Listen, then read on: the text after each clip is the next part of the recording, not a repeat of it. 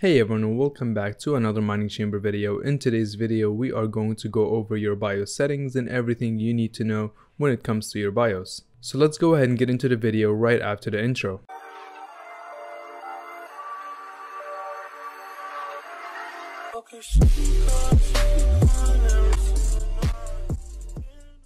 Setting up the proper settings for your BIOS is an important part of building your mining rig. Now, most of the time, if you have a mining dedicated motherboard, you don't have to change any settings. Everything is automatically set properly for you. But in some scenarios, you'll have to open up your BIOS settings and troubleshoot from there if you're running into any issues that can lead to your mining rig not running properly or some GPUs not showing up on your mining software. Now the first thing I want to mention is all the BIOS are not the same so you might have different settings, you might have different wording for your settings but ultimately the options will be very very similar. So if I go over something in this video and you don't have exactly the same words, just try to look for something similar to it. And now let's say worst case scenario you've accidentally put a wrong settings on your BIOS and then you can't post anymore. You can always do a CMOS reset and that's basically resetting your BIOS to default settings. So this is something really good to know because it's usually the fix for a lot of problems if your motherboard is just not posting at all and you're not getting any display and it's not a CPU compatibility issues or any hardware issues, then a CMOS reset will most likely help you out.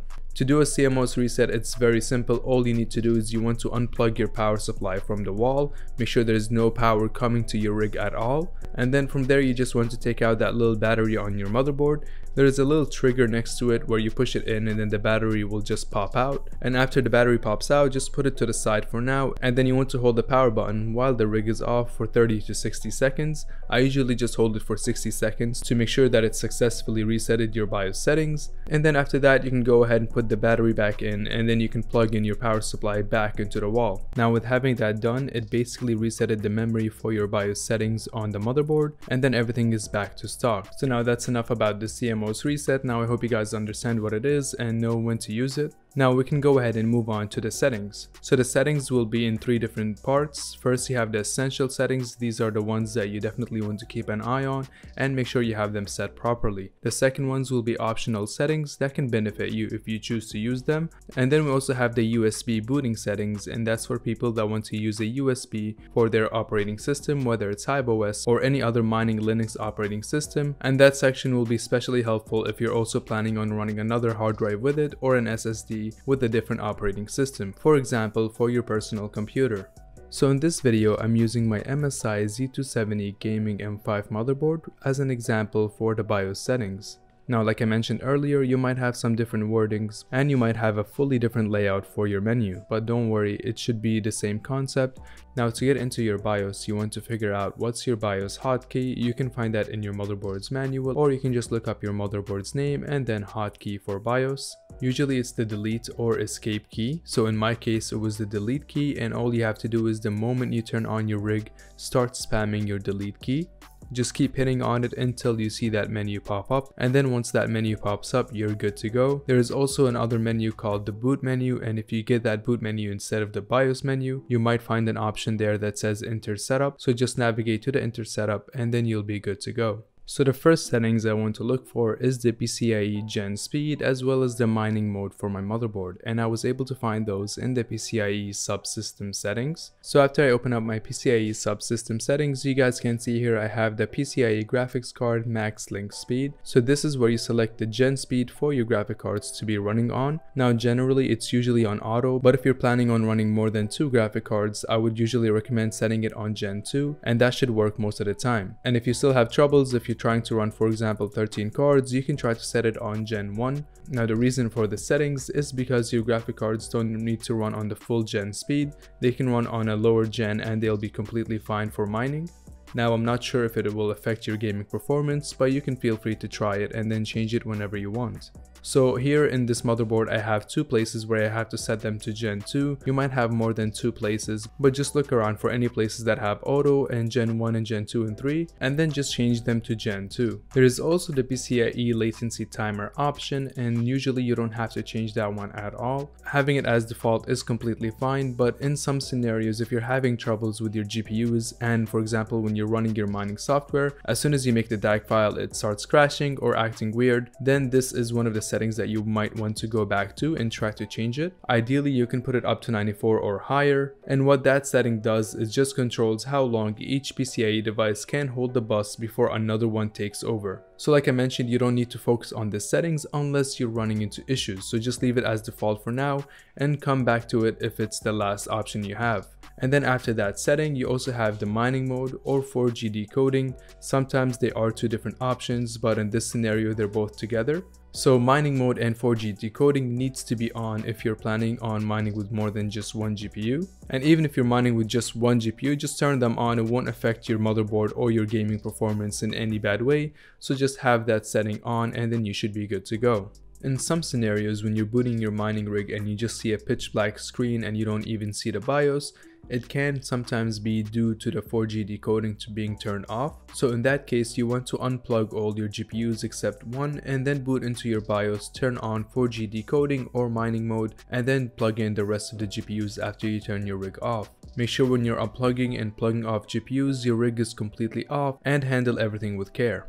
Now the last essential settings is the one that deals with your display. So usually you want your display to come out of your motherboard rather than the GPUs. It makes everything a lot easier. You can just troubleshoot your GPUs freely and unplug them and plug them back in without having to worry about the display. So not every motherboard and CPU has this capability. You first need to make sure you have integrated graphics and to do that you just want to look at your motherboard. If you have any display output such as HDMI or DVI then that means you most likely have integrated graphics. So the next step you want to do is you want to go through your BIOS settings and then you want to find your graphics settings and set that to IGD which also stands for integrated graphics. Now PEG stands for PCIe graphics and that's for the GPUs, so it's better to just have that resource come out of your motherboard and CPU rather than from your GPU.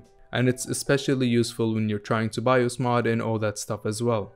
So now that wraps it up for the essential settings and now we can go ahead and move on to the optional settings. The first setting we have in the optional settings is the AC power. So what this option does, here's a good example for it. Let's say you live somewhere where the power goes out very frequently.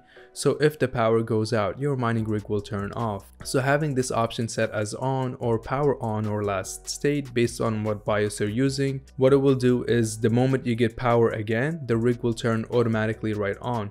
So the moment your motherboard gets power, it will turn on without you having to turn it on manually. Now if you decide to shut down your rig manually, it won't turn on right away so you don't need to worry about that. But this can be pretty useful if you just want to plug your rig, it turns on right away. And if you're worried of power loss and then you just want it to turn back on right away, then this is a good option to keep on. One of the best tricks I found with this option was using smart plugs, especially if you're mining on Hive OS.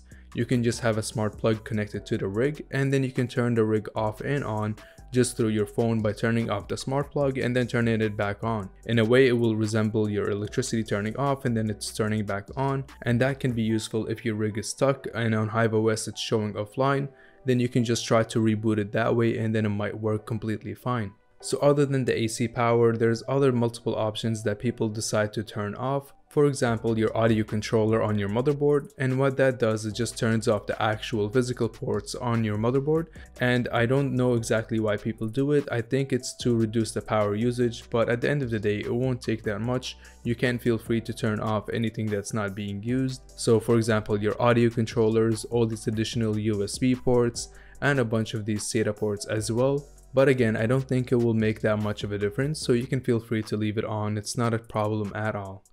Now in the optional settings, there's also flashing your motherboard's BIOS and usually you don't have to flash your motherboard's BIOS, but if you do have a really outdated motherboard BIOS or you did all the troubleshooting steps and you're still having troubles, then you can try to resort to flashing your motherboard's BIOS. All you need to do is just go to your motherboard's support page, find the latest BIOS, put it on your USB stick, and then come to the BIOS and then choose the flashing utility. If you need more information on that, every motherboard has a specific guide to it to do it on their manual, so feel free to check that out.